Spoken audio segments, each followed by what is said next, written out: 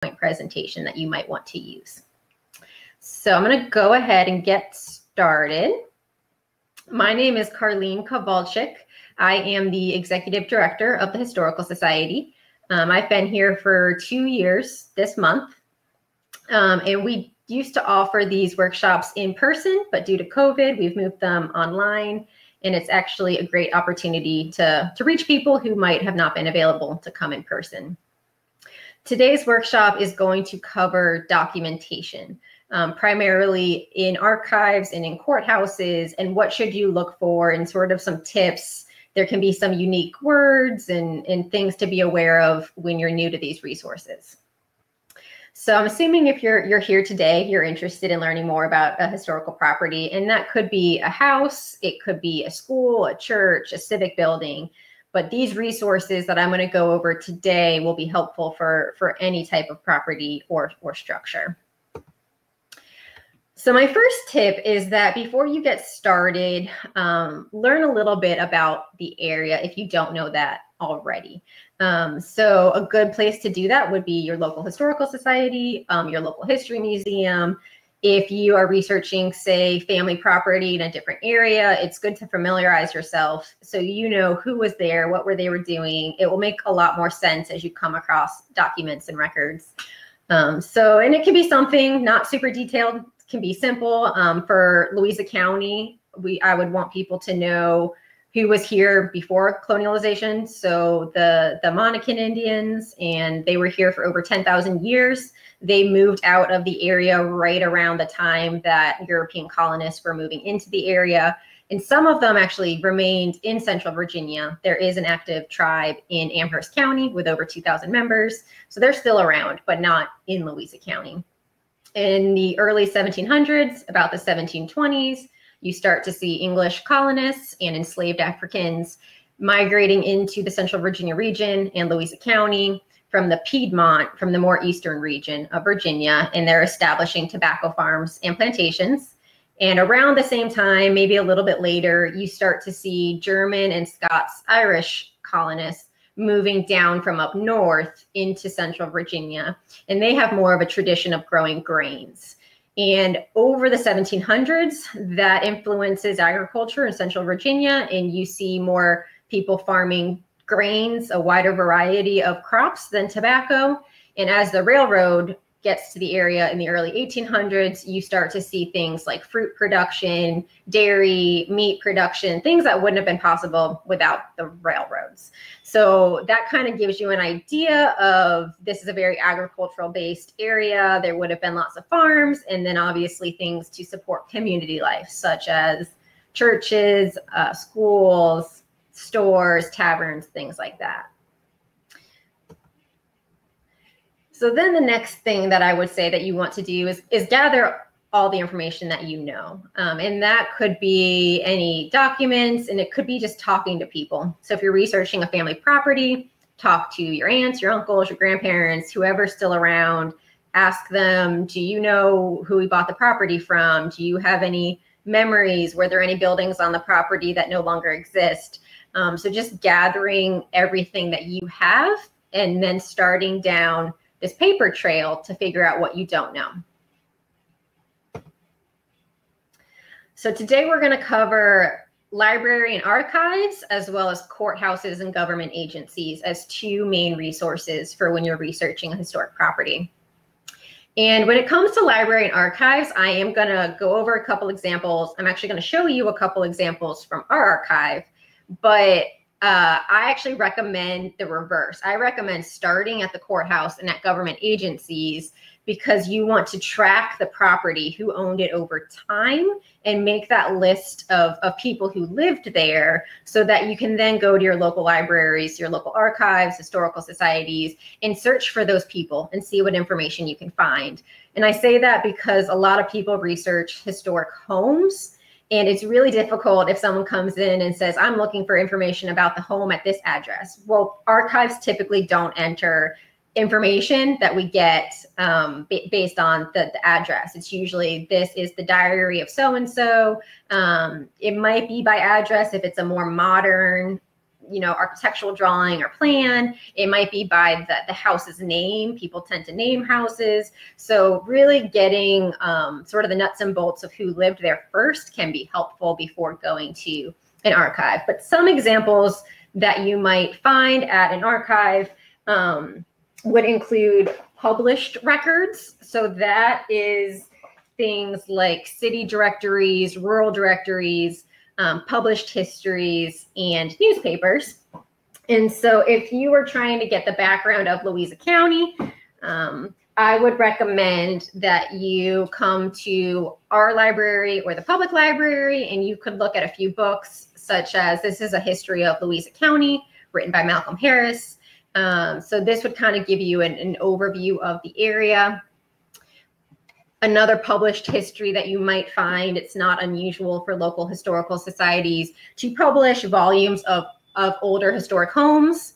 So we have Old Home Places of Louisa County Revisited. We actually sell this. And um, if you happen to be researching a home that's already in this book, that's fantastic because it gives you the history of the house already. But a lot of people, their houses aren't included in this book.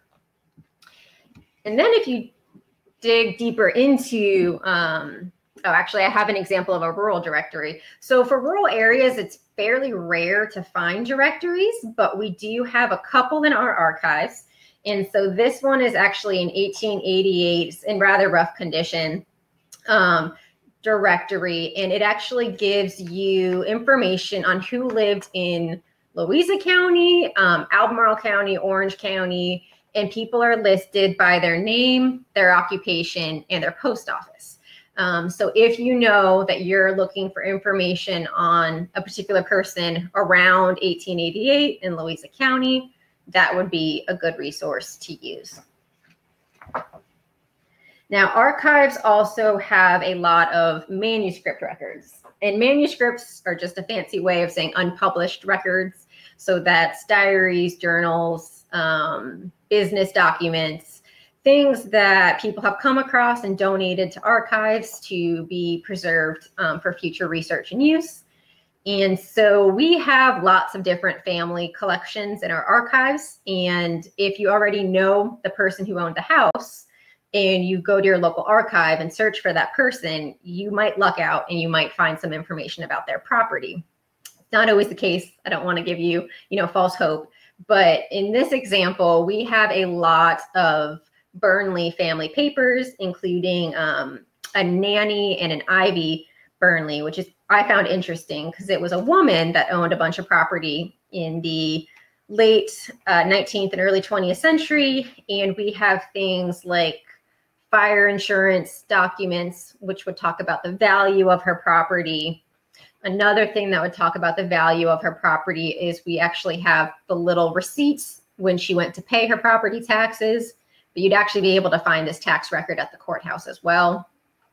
Um, and then you'll also find things like store ledgers. So we have, you know, these lists of what did she buy at the store, and you'll see see things like nails and maybe some other materials that will give you an idea of maybe they were doing work on their property at a certain time. So those are some of the examples of, of some of the neat things that you can find at local historical society archives such as ours. Now, we're not the only archive that you might want to look into if you're researching historic property in Virginia. Um, the Library of Virginia is another great resource, and they have a collection. Um, they have many collections that would be useful, but one that I would highlight is the Mutual Assurance Society Against Fire on Buildings of the State of Virginia. And that is useful primarily for sort of larger um, buildings. You know, if you were an average person, you might have not taken out insurance. And you, if you did take out insurance, there probably won't be a drawing of your building in the records. Um, but if you have one of these more sort of grand estates, that you're researching, you might luck out and find something like this, this photo of the Brookfield plantation in those records. Another example, um, another place to look is the Library of Congress. Um, they have some information available online. Um, some you do have to go in person. And something that we don't have, unfortunately, for Louisa County, but this is an example of um, a town map. This sort of bird's eye view town map was really popular for larger towns. And I don't know if you can tell, but um, there are little numbered lists on the bottom of that map, and those numbers would correspond to the drawings on the map. So there'd be like a little one, and you'd look at the the index or the key, and you would see, okay, well that was the school and that was the church. Um, and these can be really helpful when you're doing town or doing histories of properties that are in towns. Okay. Oh, I, I jumped the gun and already gave the examples from our archives.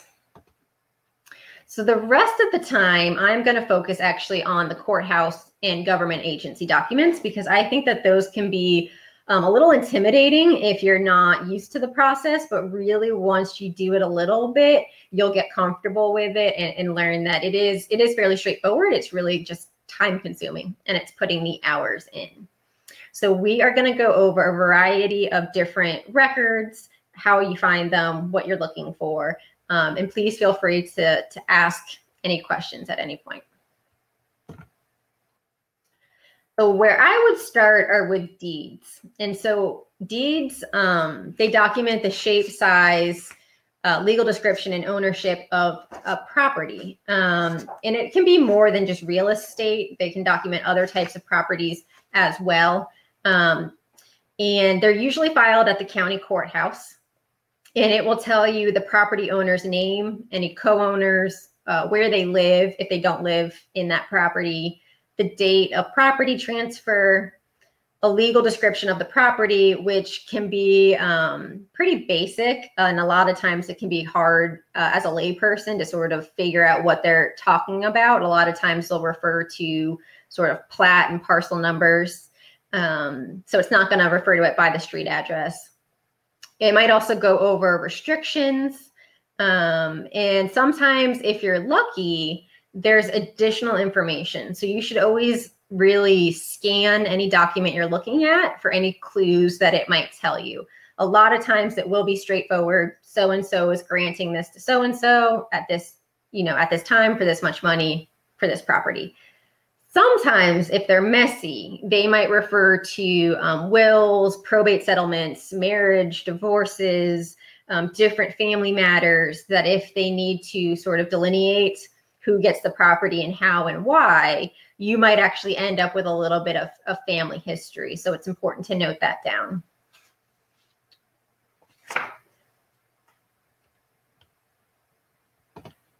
When you're looking at deeds, you're or any sort of old record, you're going to come across a lot of words that you might not be familiar with.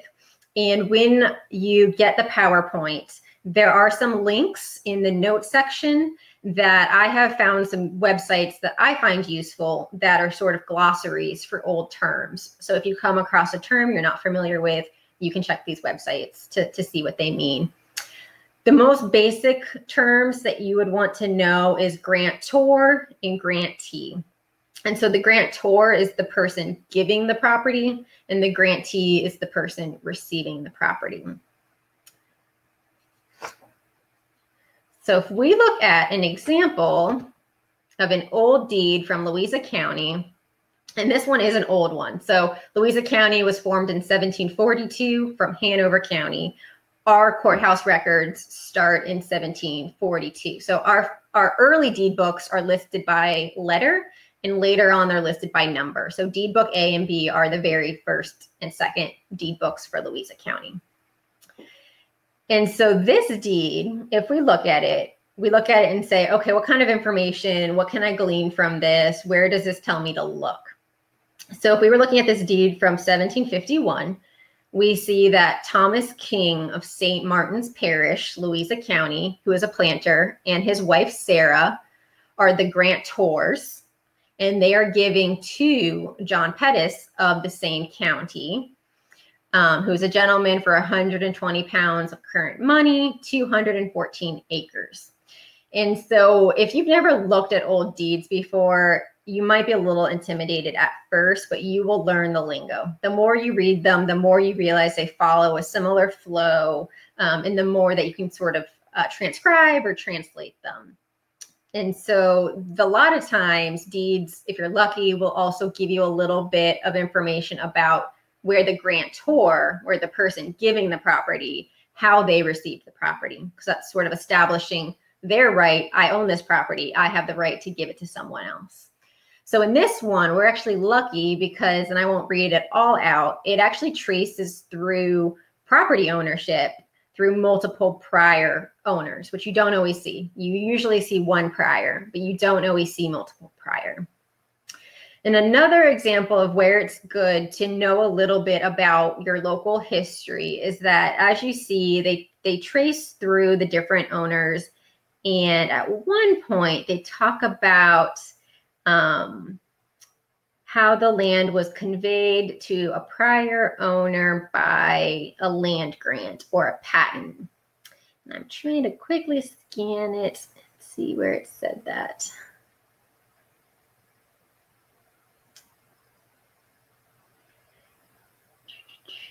Hmm.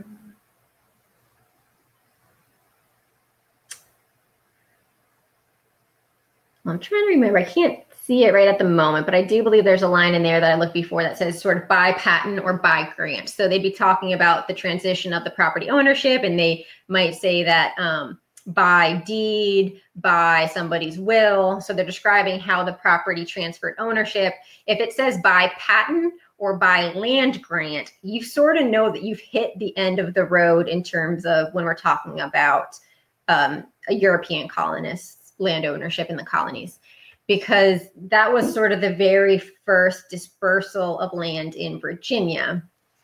And so um, monarchies would typically either um, in exchange for if you were somebody or if you were a servant that was brought with somebody to the Virginia colony to um, encourage people to settle there and colonize Virginia, depending on the number of people that you brought with you, you would get so much land, and that was called the headright system or you might just straight out purchase some land. And those grants were large, hundreds to thousands of acres. And as you go over time, the property breaks down into smaller and smaller and smaller chunks. So Louisa County, that's the the story of a lot of the properties here. You might start with a little one, and then as you go back in deeds, the property is going to grow and grow and grow and grow to just a few select number of these large land grants. Now, if we were looking at the grant or the deeds, excuse me, that was on the previous page, some of the things that if I were taking notes on this, I would write down all the names of the people and the dates that they acquired the property. I would write down where those people lived. Was it Louisa County? There's somebody on here that's Hanover County. And they also happen to mention St. Martin's Parish. And so at this time, there are counties and parishes that typically, but not always, overlap. And you're going to want to look at the county records as well as the parish records. And the parish is the local Anglican um, church records. And so we have some St. Martin's parish records here. We have more Fredericksville parish records here. So the, the parish records would probably be at your local archive or the state archive, where the, the Louisa County, the court records would be at the courthouse.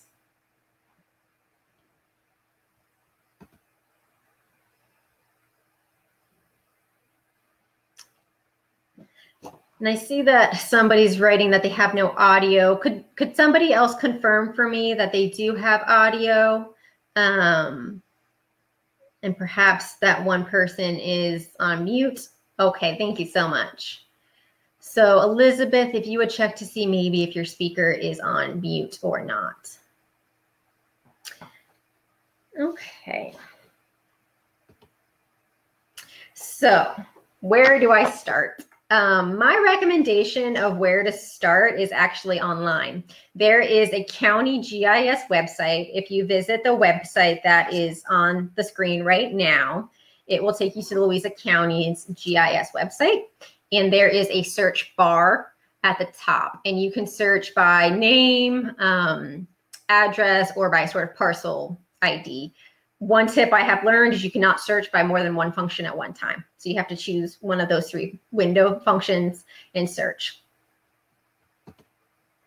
So I did our property. Our historical society is located in the Sargeant Museum of Louisa County History. We're across from Louisa Town Hall and the Louisa Art Center. We're in a historic um, 1914 Sears Roebuck house that has been converted into a museum. So I searched for our property, and once you find the property you're looking for, you um, can confirm it by clicking the the map button just to make sure you are looking at the right property. Um, but you sort of want to look at this page that gives you all the information.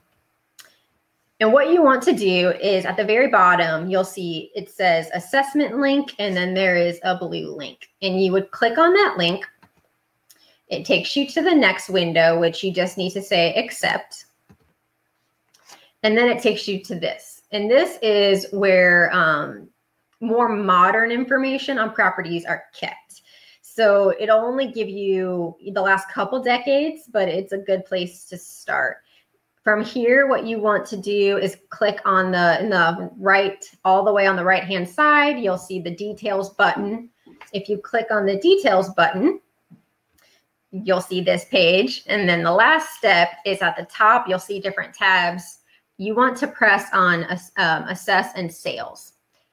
And what that will do is that gives you a history of the property, what values it's been assessed at. And at the bottom, it will give you a history of ownership and transfer of property. Usually you only see a couple because, like I said, it's in the last couple of decades that are in the online system. Sometimes you will see, like I looked at my house and there was five, I think, prior sales. Um, and sometimes if it's a property that's sort of been in one owner for a long period of time, you won't see any records of sales. But what you want to do is you want to look at the bottom. You want to write down the deed books, the deed books and page numbers for those sales. Most importantly, the oldest sale that is listed in that deed book and that page. And at that point, that is when you want to go to the courthouse because you want to chase your chain of title. I did call the courthouse just because with COVID, I wasn't sure if there were any restrictions and they said that um, it is open, but it's limited to four people at a time. It really hasn't been an issue for them, but occasionally, if there is somebody that um, is sort of working with a land company or a mortgage company, they might need to go into the room for about 15 minutes. They might need to kick a researcher out for about 15 minutes, um, but it really hasn't been too big of an issue for them. You cannot bring cell phones into the courthouse and they can be a little picky about what you bring in. So typically I just bring a notebook, a pencil, um, and some some change if you'd like to make copies. In the handout section, you will see that there is a chain of title worksheet. You do not need to use this worksheet. You can just write down the notes on your own, but it might be helpful. And it looks something like this. Um, and you would just use it to keep track of your research. It is amazing after looking at so many different records. It's hard to keep it all straight. So you write down the grantor, the grantee, again, who was giving the property, who's receiving the property, what the date of the transfer was, and what deed book and page that was. Now, when it comes to the description section, the descriptions are usually really wordy from this creek to that creek. The old one might talk about metes and bounds and chains and all this different lingo. So what I do is more I think of it as chunks. And so I might describe, you know, come up with a, a word or a system for labeling which property you're tracing. And so you could write that down as, you know, even just like parcel one, parcel two, and so if parcel one is a smaller chunk of property, every single deed that refers to that chunk of property is is parcel one. And then as soon as you realize that that property got bigger, that can be parcel two. And anyone that refers to this one is parcel two. And then you'll notice that it gets bigger. So that's that's personally how I do it. So I'm not writing down. And then I have a key kind of saying, okay, well, parcel one is this one, parcel two is this one.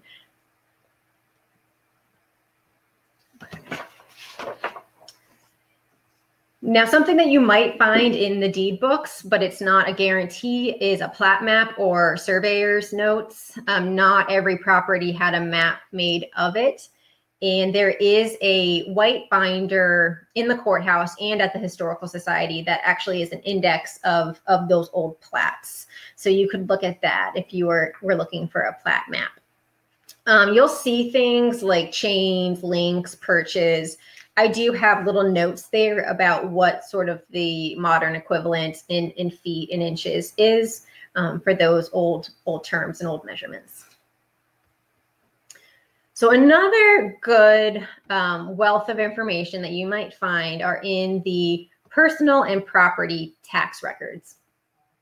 And like I said, you might find some tax records at archives, but you'll also find some at the courthouse. The picture on the screen actually is an example from our archives. It's kind of a unique um, sample from our archives because it is actually the personal and property tax records that were kept by the Confederacy during the Civil War. So if you look at this book, it talks about who lived here during the Civil War. And because it is personal property tax records during the time period of slavery, if somebody owned slaves, that was personal property. And you can find information about that if you're interested in finding out that information. So in terms of the the tax records that are at the Louisa County Courthouse, um, they have the records from 1782 to 1865. They're still in the courthouse. They're in a file cabinet in the basement. Um, they're they're hit or miss sometimes. Um, and they are divided into the north side of the county, which is west of the South Anna River, and the south side of the county, which is east of the South Anna River. So before you look at these tax records, you want to figure out where the property is and whether it's in the North District or the South District. Um, and I don't want to, again, give you sort of false hopes. The, the information can be rather limited. Um, it will be a value of the real estate or the land. It might be for personal property. What carriages did someone own? Did they own slaves? But those, you can read deeper into just than, than just the facts. So you can start to determine things about somebody's socioeconomic status. You know, how many carriages did they have? Um, you can read into whether or not they owned slaves. Um, there was a large Quaker population in Louisa County at certain points. And, um, you know, some Quakers didn't believe in the practice of slavery. I will say, though, sometimes that's misleading. Some Quakers did rent slaves. Um, so it's, it's always good to be skeptical um, and just sort of go in with a curious mindset. Another wealth of information is um, the wills. And some volunteers and the previous director of the Historical Society put a lot of hours into indexing the early will books. So the will books from 1742 to 1865 have been indexed, and that index is available on our, online archive website, which is piedmontvahistory.org. I have a link to that at the end of the slideshow. And so that makes it really easy. But there are will indexes at the courthouse that you can use as well. And typically, wills are good to give you family information. Um, it can be particularly helpful with women, right? Sometimes it's hard to track um, women, especially if they got married and their name changed. Um, but you might be able to, depending on when the wills were written, when the kids were married, you might be able to determine um, a lot of times they will list their children um, and then also the children's spouses if they if they are married. Um, so there's a lot of information that you can glean from from wills. Again, a lot of times they do touch on personal property, which can include slaves. Um, so if you are if you're sort of coming at your property research from a different angle, if you know that one of your ancestors was enslaved on a property, or you have an idea that they were enslaved um, in Louisa County in a certain general area, and you can kind of figure out who lived in that area. Um, this might be helpful um, to sort of track down some ancestors. Unfortunately, they are typically um, only referred to by their first name, uh, but there is some different things that you can do to sort of help kind of uh, trace that ancestry. And if you're interested in that, we do have a recorded webinar on sort of how do you break that brick wall? How do you get before emancipation in African American genealogy? And that is available on our, our YouTube channel.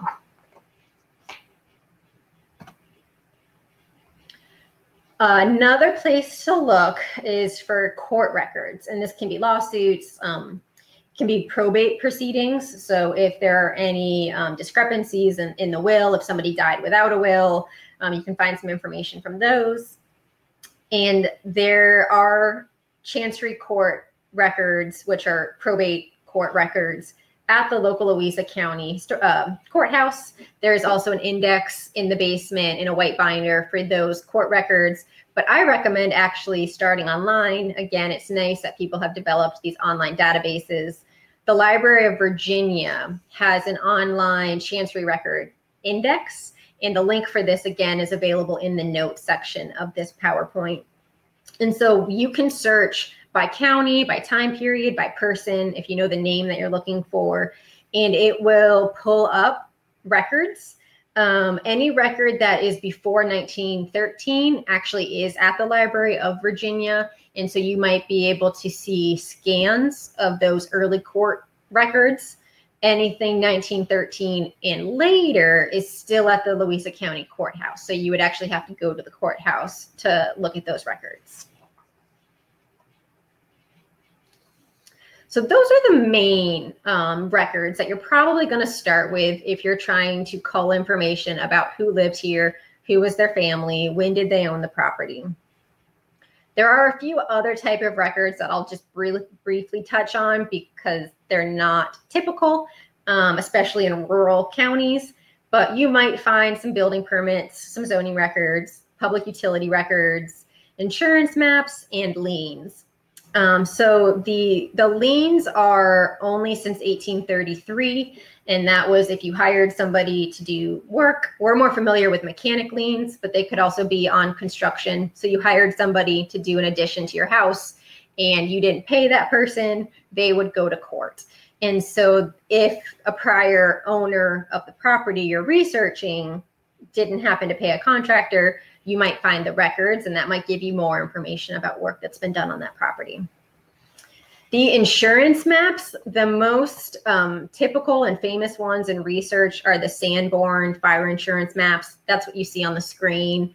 Louisa um, and Mineral did not have one. It's typically for, for bigger towns, bigger cities. But if you happen to be doing research in a more urban area, Sanborn maps are a fantastic resource. of um, sort of neighborhoods. It shows you who people's neighbors were, where their businesses, was it residential, what the materials were made out of. It can give you a lot of information.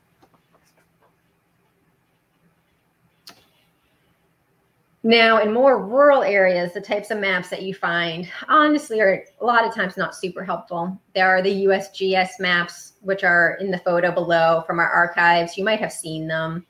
Um, sometimes for rural areas, they are the only map that was made of that area. And sometimes they do determine where churches, things like that are, but they're more modern from the 20th century.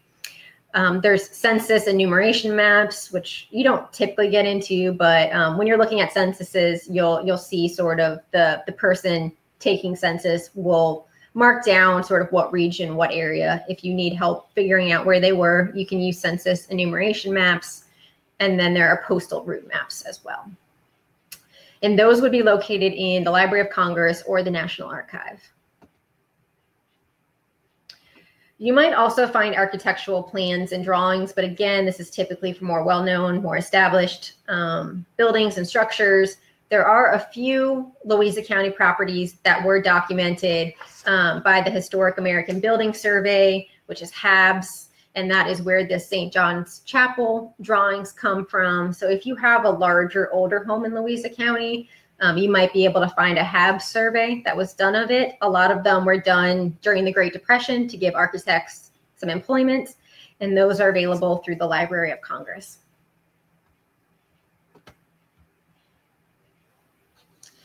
Now, once you've done this work and you know who lived in your property, I know I would be a little bit curious about, well, what did they do? Who were their neighbors? Um, did they have a family? And a census is a really good place to, to start and do that research. The most recent available census is 1940. So you can only access 1940 or prior. Um, typically, we use Ancestry to access the census. And if you don't have an Ancestry account, the public library and our library can get you logged in and set um, and accessing Ancestry. And so this example here is actually again for this house. This house was built by Frank Sargeant And this is the 1920 census. So I looked for Frank Sargeant. I knew that he was in Louisa County at that time. He owned a local hardware store. Um, as I said, he built the house in 1914. But what I learned from this census is that Frank and his wife, Grace, they were in their mid 30s. They had one, two, three, four, five, six children at the time, including a baby named Fitz. And their oldest was Lucille, who was nine at the time. And something that I did not know that I learned from pulling the census is that in 1920, there was a young African American man his name was Charlie Smith. He was 14 years old and he was living with the family as a servant. And from the census, depending on the different years, you can tell different information. They asked different questions. You know, have you had schooling? Do you speak English? Do you have a TV or radio in your house? Was a question they asked later on. Um, so from this census, I'm able to see that Charlie Smith had no schooling and was illiterate. And so I would be interested in figuring out some more information about the family and the, the servant that they employed in their family. Now, also from the census, typically they went house to house to house. So um, you can look at the families before and after, and you can get information about people's neighbors over time. And the census typically marks down people's occupations.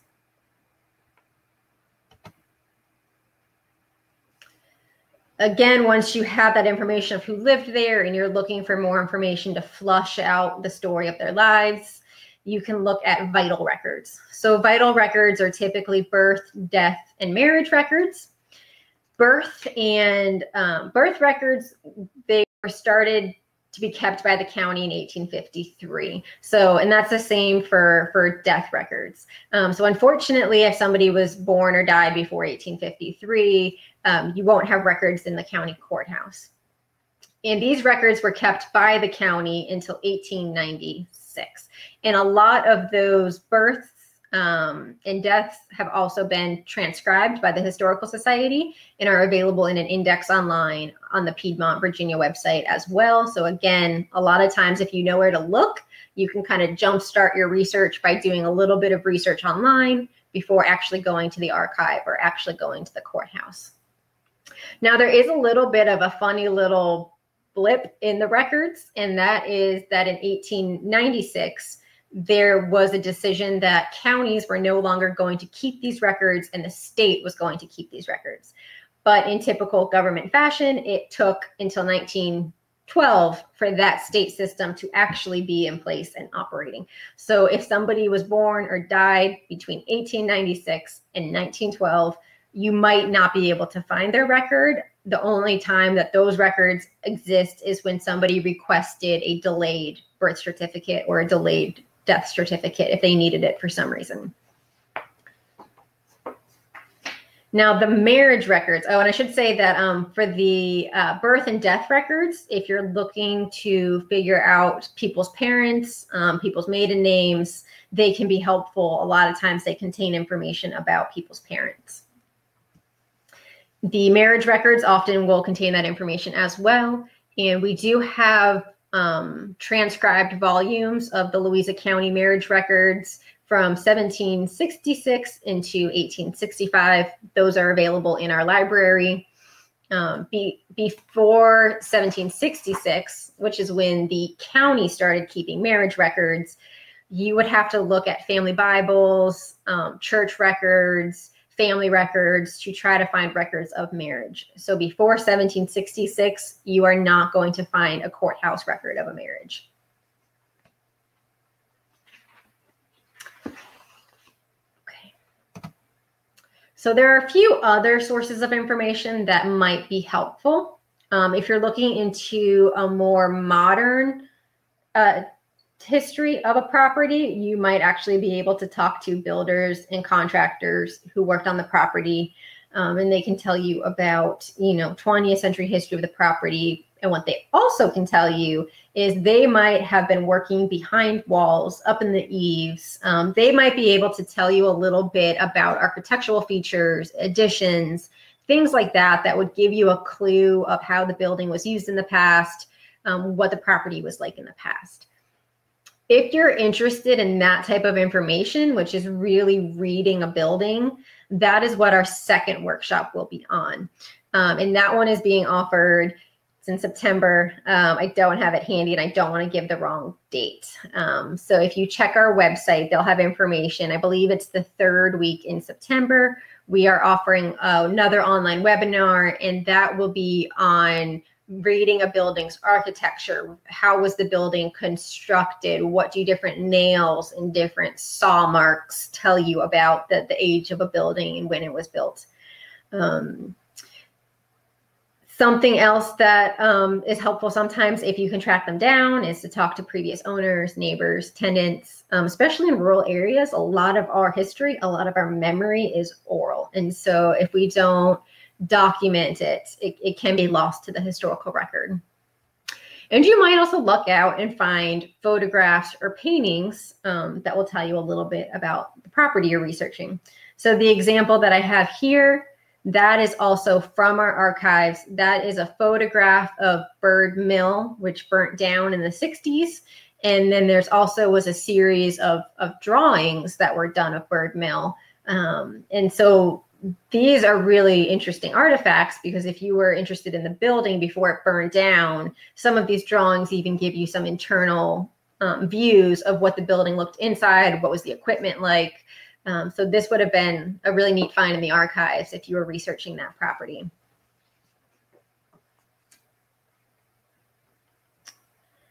Okay.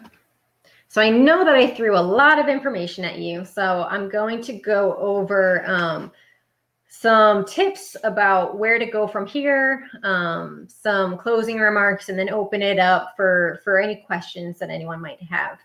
So I do recommend our, our research library. It is a non-circulating library. That means you can't check out the books, but it is open during our museum hours.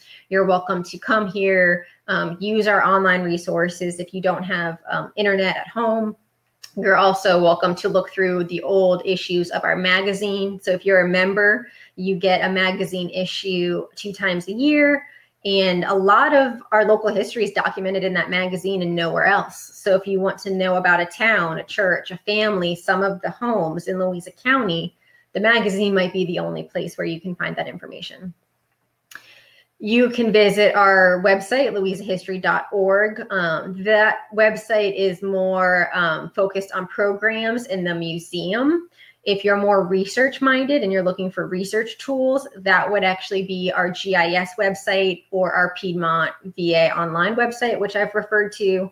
The GIS website, it has some neat um, different maps up there. They even have some historical overlays. So you can see a 19th century map that has been overlaid over Google Earth, and you can kind of scroll it on and off. And so if you know that the property you're, you're looking for neighbored this property owner's property and that property happened to be documented on this map, if your property was the neighbor's, you can sort of do this overlay and, co- and go, okay, roughly my property was located here.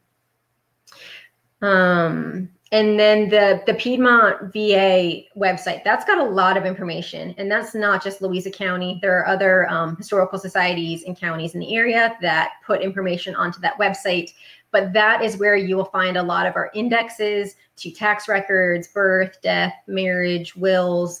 Um, you'll see the catalog to our archive if you want to look for people in our archives and see if we have any of those neat family papers, like I showed you earlier. Um, a lot of information on that website. And then the last website that I have listed there, we do not maintain that website. That is an independent website, but it is a wealth of information. um, there is an index to our magazine available on that website. So if you want to see if it's you know worth your time to come here and look at our magazines, there's a combined index to that magazine, um, along with there are some deed abstracts and things like that on that website.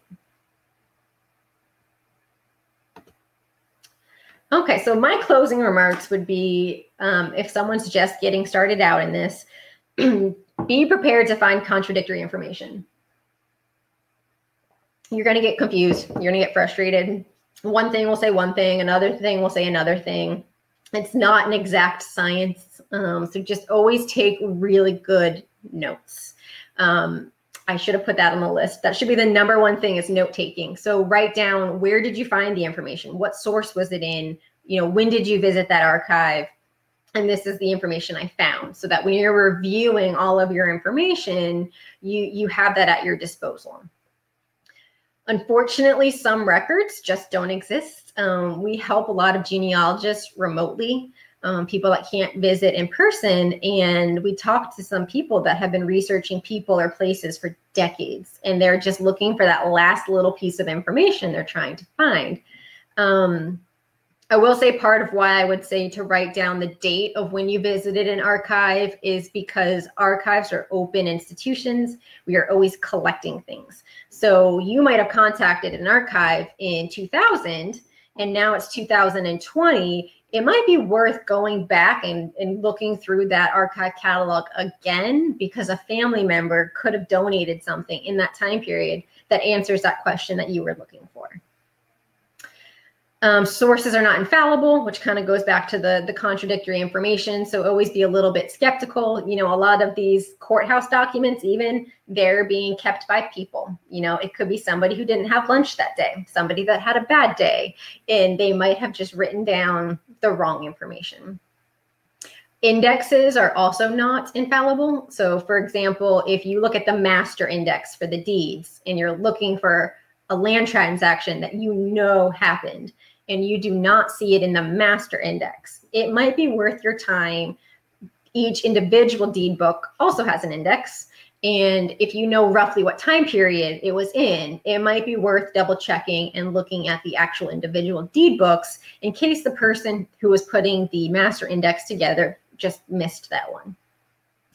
And this, the last one applies more to the second session that we will be doing, but that is when you are dating buildings by stylistic and technical features, it is an inexact science. So if you attend the, the follow-up workshop and you learn that this type of mark on a wood, this type of, of, of, window casing means this time period, that could be true. But somebody in the 20th century could have thought that that door or that window that they found on a different building was really neat and used it on a more modern edition. Um, so there's all sorts of things that can happen. So, so take everything with a grain of salt when you're trying to date buildings that way.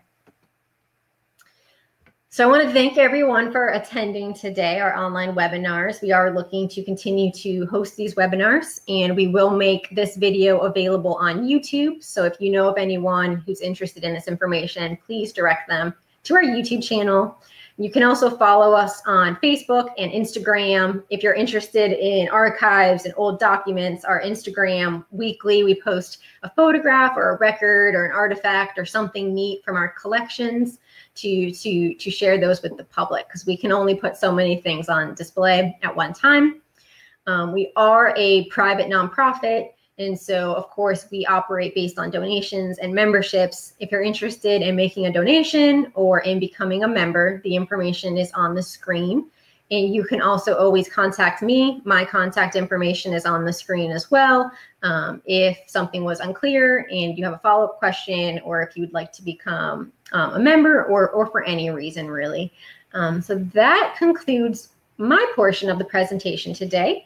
And um, we've got quite a bit of time. If anyone has any questions, um, if anything was unclear, if they'd like me to review something, or if they would just like to share a little bit of information about a research project that they're working on.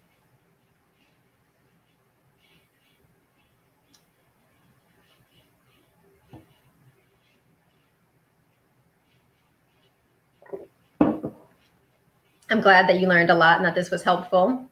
Please do um, download the PowerPoint presentation because there are a lot of live links that basically whenever I was saying go online, go online here, um, if you download that PowerPoint presentation, it'll all be available in one, one place.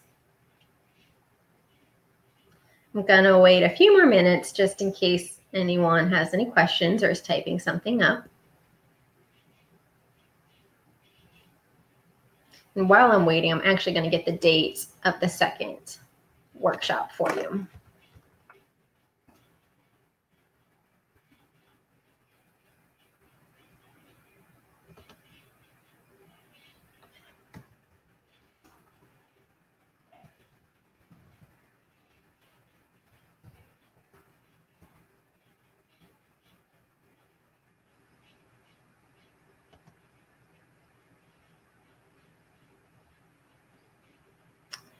Okay, so the follow-up workshop, which again is going to be on um, sort of how do we read buildings? What does the style, what does the construction tell us about a building? That will be on Friday, September 25th at 10 a.m. It'll be similar. Will be about an hour of information and then a chance for questions.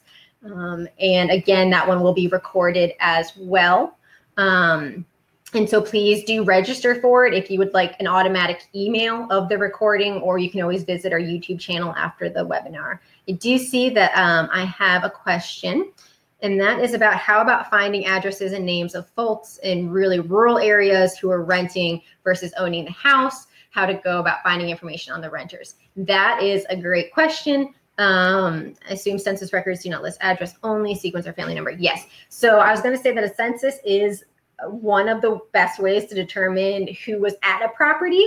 Um, and then you would have to sort of cross reference that with um, the actual property ownership records, which are those deeds. Um, you are correct that for the most part, they do not list them by address, although I will say sometimes they do. So when you're looking at the, the census record and there's all the lines, you want to look all the way on the left-hand side, and that will either show you numbers, and that is the sequence of houses, and that is where that census enumeration map might be helpful. Um, but sometimes you'll also see street names, and rarely, but sometimes you will see addresses. I would say typically you can find street names. So if you can say, okay, these people were living on this street at this time period, you might be able to puzzle it out and, and, and piece it out. Um, personal property tax records um, might be another way of going about that as well, especially if it's a little bit more modern, if it's 20th century, um, you know, if they owned personal property and if they were taxed on, their their address might be part of those um, personal property tax records because obviously they don't have you know real estate property tax records if they're renting, but they might have personal property tax records.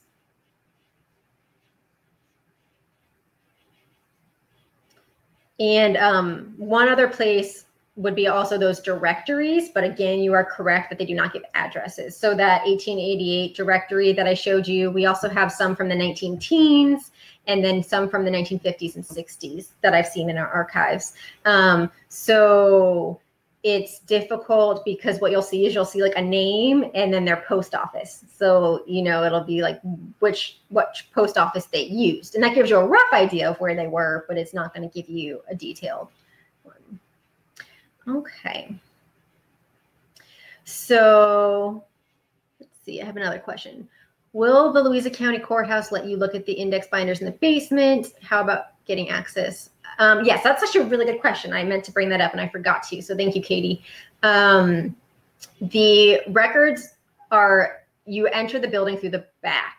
So the front of our courthouse with the big columns, you want to go around the back of the building, and that is where the record room is. You do have to go past security, um, and then as you enter on your left, there'll be a record room, and on your right, there are some windows and some some people that work for the courthouse on your right. And so the records that are on the first floor, that is a lot of deeds, wills, marriage records, those you can just go in. There's a copier that is self service. And once you've made your copies, you go over and pay for them at the window. If you want to see any records downstairs, those are kept in locked buildings, but they are public records. You have a right to access them. You do need to go to the window, um, and they will either let you into the, the rooms or they will give you a key to let yourself into the rooms. And when I spoke to them, they didn't say anything about them barring access based on COVID. Um, I think it's just that same policy of they can't have more than four people in a room at a time. And I will say for anyone who's not local, um, we do offer remote research service requests. Um, they're first come, first served. We're a volunteer based organization, so it can take us a while sometimes. Um, but if you cannot travel here for whatever reason, we will check our archives in our library for you, and we will send you that information. We do suggest a donation of $20 an hour. Um, if you have very limited research in the courthouse, if you're like, I need this one marriage record, I need this one deed, usually we can fulfill that for people. I don't want to make any promises because sometimes we get overloaded and we can't do courthouse records for people. If you're looking to do a whole chain of title or looking for a lot of courthouse records, unfortunately, we wish we could. We just don't have the manpower to do that. that is when you would need to contact a professional genealogist and hire them to to go to those locations for you. In the Virginia Genealogical Society, most states have a genealogical society. They can typically pinpoint you to people that offer those services in, in the area where you're looking for research. So that's another good, um, if you live in Louisa and you're trying to research a property someplace else, that's another good tip. You might, it might be worth it if you can afford it to pay someone to go to that courthouse and do some of this work for you and send it to you.